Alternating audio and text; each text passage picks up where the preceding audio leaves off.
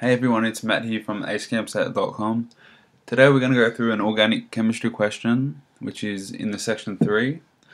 This is a fairly easy question, so it shouldn't be, it shouldn't be too hard to get right, but we'll just go through it and you can check how you went. Alright, so for question 10, classify this molecule as an amine and as an alcohol. So for an amine, we look at the nitrogen here, and you want to see how many carbons that nitrogen is connected to.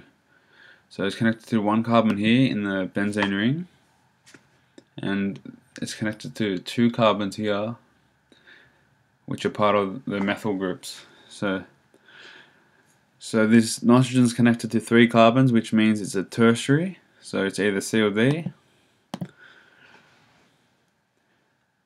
Alright, for the alcohol we look at the carbon that's connected to the alcohol group. So we want to look at this carbon.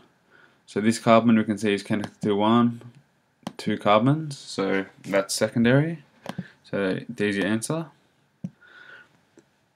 Alright, for question 11, classify this molecule as an amine and as an alcohol. So once again for the amine we look at this nitrogen, you can see it's connected to two carbons. So it's secondary, so either B or D.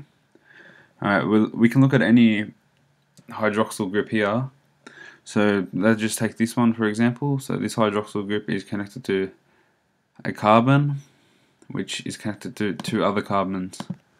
So therefore that's a secondary alcohol. And that's all. Thank you.